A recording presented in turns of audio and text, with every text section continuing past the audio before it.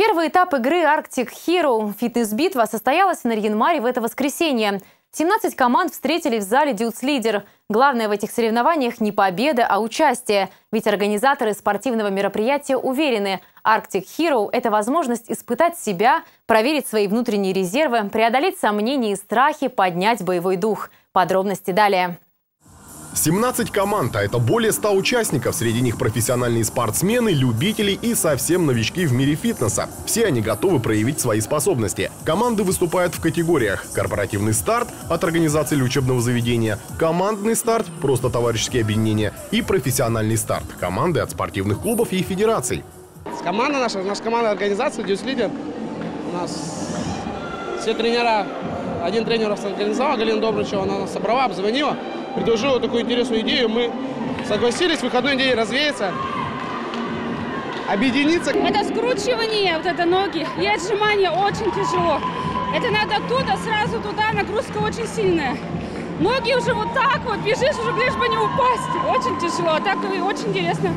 Наша телерадиокомпания тоже не осталась в стороне от спортивной битвы. Собрала свою команду «Север». А что? Бегать с микрофоном, носить камеру со штативом – вот и тренировка на силу и выносливость. Раньше, вот, ну, лет пять назад в округе проводились для разных организаций э, ну, различные соревнования, где можно было просто выступить от э, своего предприятия и как-то ну, командный дух, и, э, как это сейчас модно говорить, билдинг, да. Давно уже такого не было округе, клево, конечно, первом этапе фитнес-битвы командам предложены 8 испытаний. По мнению организаторов, справиться с которыми доступно абсолютно каждому. За выполнением заданий каждого из участников следят судьи.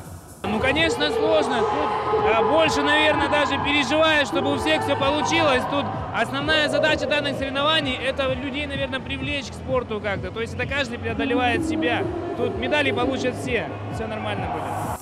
Пока участники Arctic Hero отжимаются и приседают, балконы разрываются от эмоций. Болельщики поддерживают свои команды, как могут. Соревнования Arctic Hero проводятся в рамках национального проекта «Демография» федерального проекта «Спорт. Норма жизни», а также молодежного форума, который проходил в Наринмаре в течение трех дней. На площадке ЗОЖ 25 молодых ребят прошли подготовку в качестве тренеров, и сегодня на соревнованиях они в числе организаторов что для нас самое главное, чтобы эти ребята после вот этого обучения в дальнейшем в регионе могли самостоятельно э, проводить э, мероприятия именно общественные. Например, может быть, кто-то из них станет тренером дома своего, да, и э, между э, домами в регионе будут какие-то проводиться фитнес-битвы.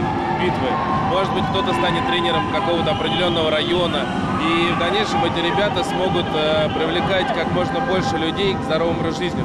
Состязание Arctic Hero включает в себя три этапа. Следующий – подвиги. Пройдет 30 марта также в закрытом помещении. А 15 сентября на фестивале здоровья и спорта состоится гонка по пересеченной местности «Герои Арктики». Потому что целью было не просто человеку, ну, дать какую-то плюшку или еще что-то было.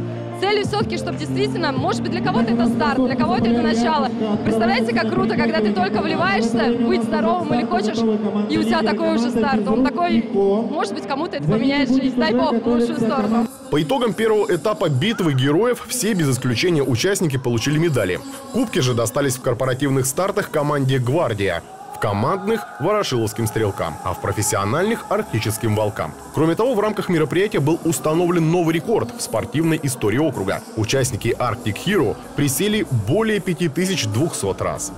Иван Никонов, Ольга Руссул, Дмитрий Лукевич, телеканал «Север».